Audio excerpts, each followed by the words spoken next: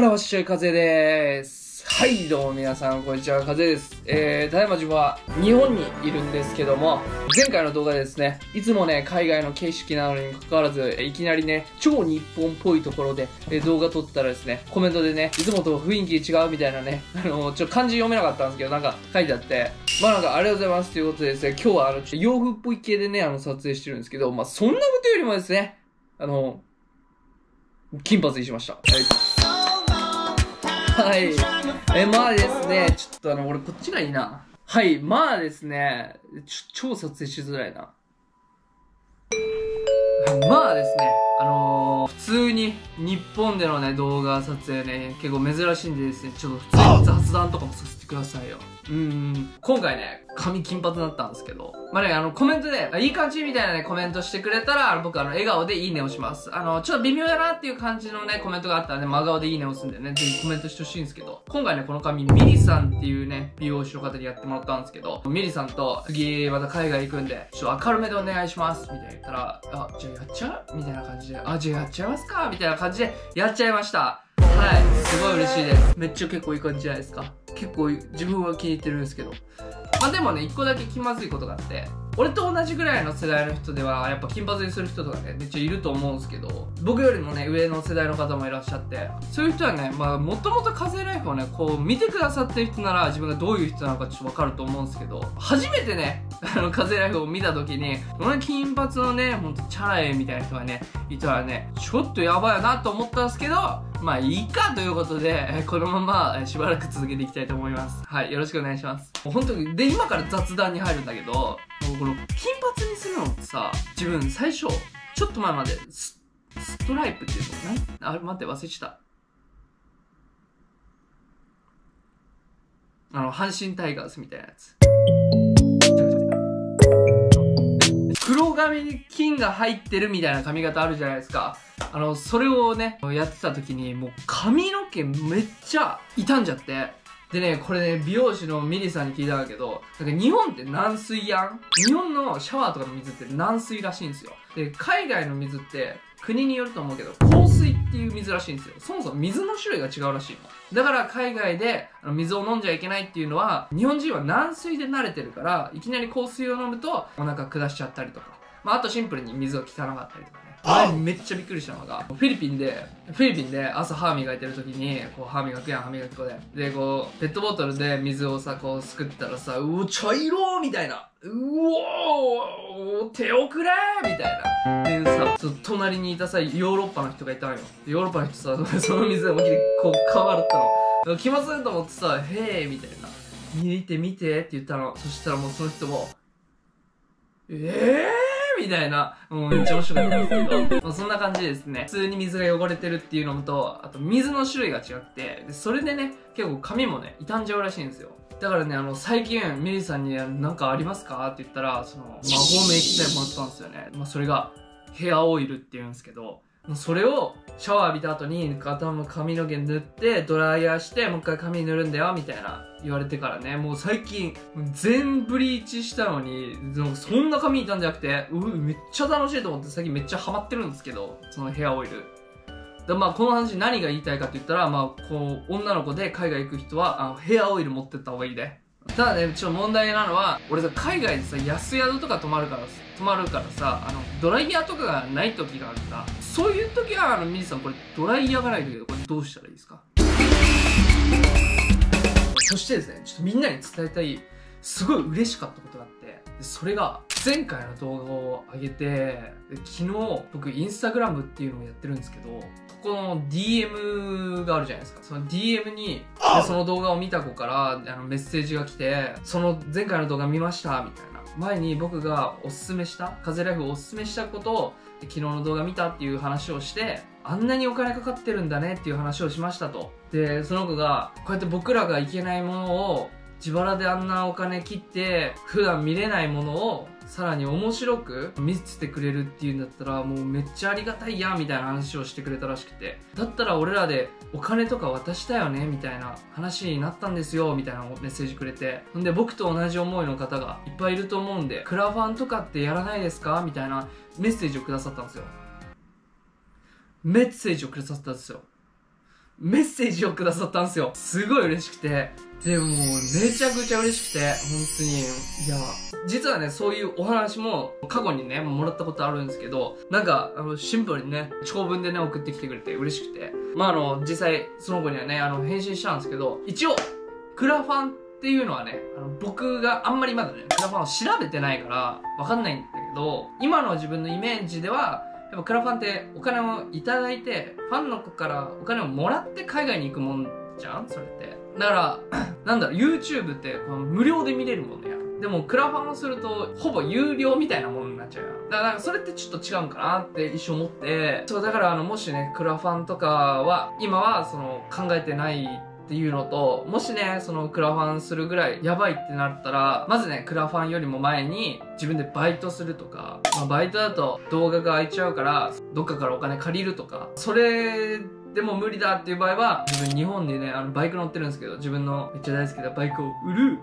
で、可能性があるとしたら、この月にまあクラファンっていう感じなんですけど、でも安心してください。僕、このバイクは絶対売る気ないんで、ここは絶対に売る気ないんで、まあ、この先のクラファンは、あの、今のところないですので、あの皆さん動画をね、普通に楽しんでもらいたいです。あとシンプルに、僕がね、海外に行って皆さんに見せるためのその動画を作る資金っていうのは、まあ最初はもちろん自分のね、アルバイトのお金ですけど、皆さんがね、こうやって見てくださって、さっきの男の子みたいにね、友達にね、拡散してくれて、そうやって見てくれる人が増えて、こうみんながね、楽しんで動画を見てくれる分が、僕の次の動画につながる資金になるんで、シンプルにね、そうやって動画を楽しんでいただけてることと、拡散してくれてること、もうこれだけでね、僕はもう本当嬉しいんでね、本当ありがとうございます。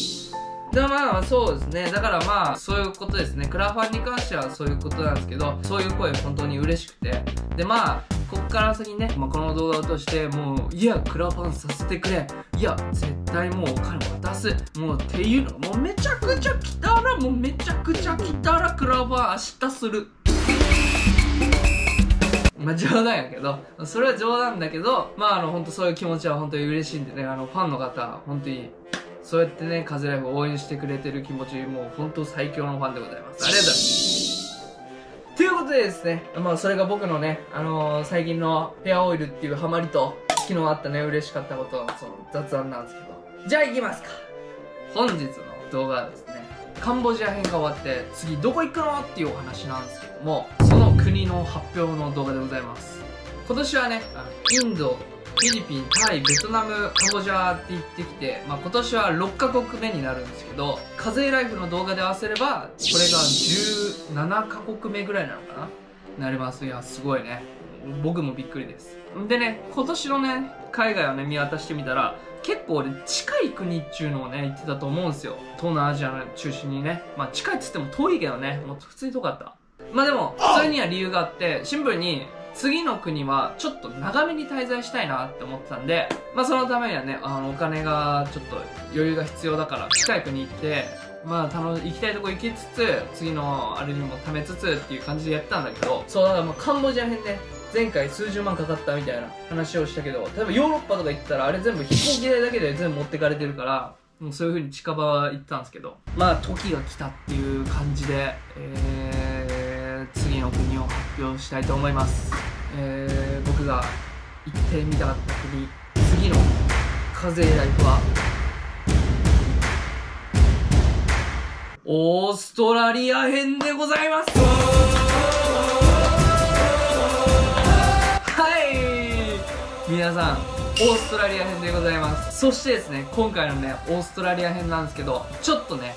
自分の中でイメージしてるオーストラリア編がありましてそれをねちょっとみんなに伝えたいんですけど最近は結構旅していろんな人と出会いつついろんなとこを楽しんでっていうものがあったんでだからいわゆるま観光と旅のミックスみたいな感じだったと思うんだけどすごい楽しいんですよ。すごい楽しくて僕も好きなんですけど海外で僕ね楽しいなって思うのは滞在系ってすごい楽しいなって思ってっていうのもその自分アメリカ留学行ったんですけどアメリカ留学の時は半年ぐらいアメリカにいたんだけど超楽しくて。もちろん旅も楽しいんやけど全く違う楽しさがあるのね滞在って。その留学とか俺のアメリカ編3ヶ月アメリカにいたんだけどそういう滞在ってすごい面白いよだから今回のオーストラリアはなるべく滞在みたいな感じで行きたいなって思ってて。だから今回あの2ヶ月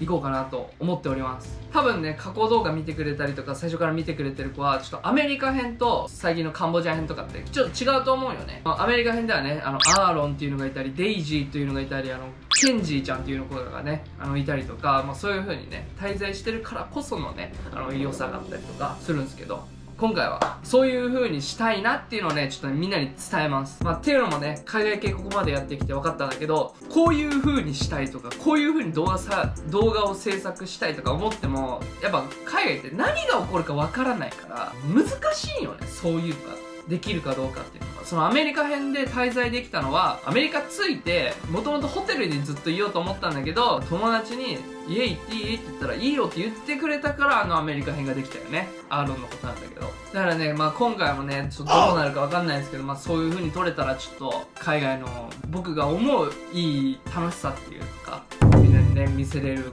見せたいなって思ってるっていうのだけ、えー、皆さんに伝えておきます一人ねあの俺の日本人の友達がいるとこがあってまずねちょそこに行って楽しんでからどうしてもねみんなにね一人紹介したい人が今オーストラリアにいて。でまあその人はあのその時の動画で伝えるんだけど、まあ、簡単に言うとその子がいなかったらあの課税ライフっていうものは多分なかったと思うとかこうやってね海外の人との出会いとかをみんなに伝えれてなかったと思う。だからそれはねあの何て言うの礼儀っていうの。だから作法じゃないけどなんていうのか分かんないけどなんていうのマナーっていうの。いよく分かんないけどちょっと日本語分かんないけどそう紹介させてください。はい。っていうことですね、まあ、今回オーストラリア編っていうことなんですがはい。つい最近ですね、僕の高校の友達がオーストラリアワーホリから帰ってきたんですよ。で、まあ話を聞いたと。そしたらですね、今オーストラリアってすごい人気の国らしくて世界中からいろいろ集まるからその安いホステルとか全部埋まってるよみたいなことを聞いてマジかと思ってその時初めてこうホテルを確認したんですよねそしたら僕の条件としてはどこでもいいんですけど w i f i がこのつながるとこやっぱ YouTube やってる限り、まあ、そういう条件だけを踏まえてみるとあの1泊ねマジ1万円ぐらいしたんですよ。カンボジア編とか15日間で1万円ぐらいだったんだよ。それが1泊1万円だからね。みんなちょっと一回計算してくれる？1ヶ月って30日なんですよ。でこの30日かける1万円は？30万ですよね。で、これが2ヶ月になるから、30万かける2は？60万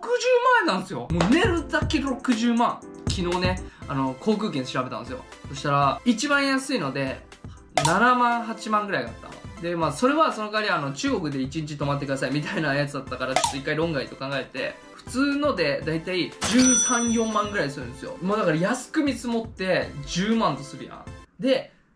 オーストラリアでもう俺も生きるからさ、飯とかさ、動画撮るお金とかさ、移動費とかさ、踏まえてさ、まあなんとなく頭でちょっと多く見積もっても、まあ1ヶ月15万、2ヶ月で30万と今頭の中で考えてるね。でもみんなちょ、ここでもう一回計算してもらっていい ?60 万足す10万足す30万円は？そう、100万円これやばない知ってるみんな。100万円って小学生が宝くじ当たったらもらえると思ってる金額だよ。びっくり。宝くじ当てないと。ただ、これだけじゃないんですよ。まだちょっとみんなにはね、内緒にしとこうと思うんですけど、ちょっと考えてることがあって、なプラスでね、なんとなく20万ぐらいかかるんじゃないかなって思ってることがあるのね。だから、120万円。クラファンしますまあそれ冗談やけどそれ冗談やけどでもマジでそんぐらいかかると思って自分のね三菱銀行見たのねおーっていう感じなの。ででそっからまた頭を使ったのね。2ヶ月行くってなったら給料日が2回来ると。オーストラリアで。それを踏まえたらギリ行けなくねーみたいな。感じなんですよ。はい。あんまり俺の銀行口座の中の金額に関してはあんま計算しないで。でも本当になんかあったら、ちょっとやばいなって思う感じなんですけど、超大怪我したとか、だったらマジ俺危険なことたまにするからさ、マジ危ないんだけど、だからね今回ねご報告の動画でもあるかもしれないんですけどまあ僕ちょっとお金がねちょっと足りないなと思ったらバイトしようかなとかバイク売ろうかなとか思ったんですけど